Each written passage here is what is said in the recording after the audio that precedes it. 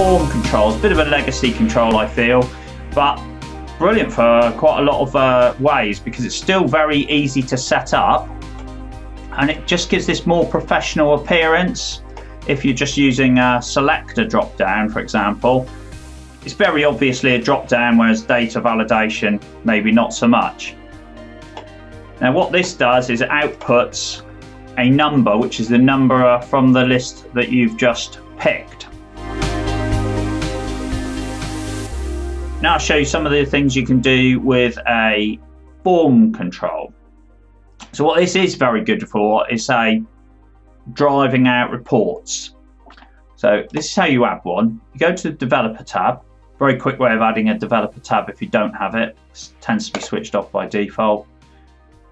Up on the quick access toolbar, drop down, more commands, go to customize ribbon and straight away you should see it here and you can tick that box and hit OK.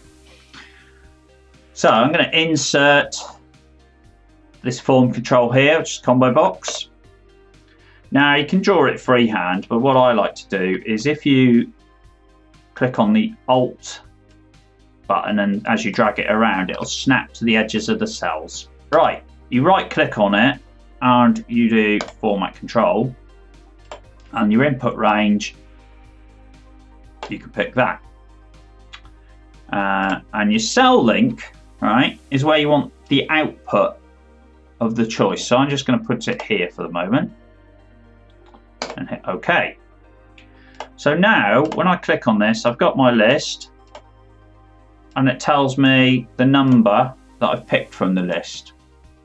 Sometimes that's great actually because it's quite easy to deal with numbers in Excel. So if you want anything where you're going to be doing calculations based off of this, that can be really useful. But if you're trying to run, say, something that requires uh, the lookup, not so useful. One thing that is great and I do like about these form controls is they're so quick and simple to, to set up there. And they kind of look the business. You know, on here, this is an ActiveX control, for example, but this one, I feel, you know, it's just nice and simple. You can even assign a macro to it, only one mind, um, which will let you basically control uh, like a macro from the item that's picked. So you'd be able to detect what's been picked by like looking at that cell, for example, next to it, and run all kinds of things in your spreadsheet. So it's a great little halfway towards an ActiveX control. I think it looks looks the business. It's really simple to set up, and you and you've got the ability to use a macro. I use these a lot. I find them very very useful. Now, how do you get around the fact that it outputs this number. What if you want it to the actual item that's been picked? Because there's nothing in that cell underneath. If I click on that and drag it around, you can see it's not actually, it's not outputting anything into its position. It can be, you can put this anywhere. And you can size it in any way too, which is kind of useful. Right, well, what you're going to need to do is put some kind of formula underneath, or anywhere really, which uses that number to pick to find from the list so I'm going to use the offset formula. Oops, don't want double equals at the beginning of it. We're saying that we want the top of the list. Just fix that with F4. How many rows down do we want? Or the number from the list. And it's as simple as that. Columns, we don't want to offset at all, so we put zero. And there we go. So now whatever we pick on here will be replicated in that cell. You can now use that in, in lookups and things like that quite simple. What you can't do with this control though, if you look at the format control, yes, you can put some kind of 3D shading on it, um, you know, text. You can't have it move in size with cells, right?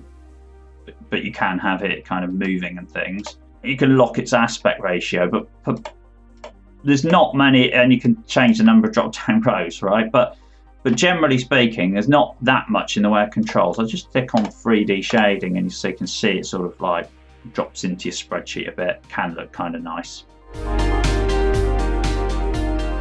Form controls, I actually think brilliant and sort of dashboards and running little sort of um, you know charts and things like that that you want us to be able to select sort of different types of chart.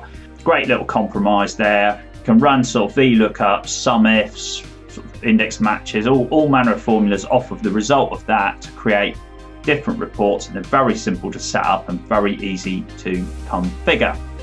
Hope that was useful. You know, good luck building your spreadsheets with the drop down lists.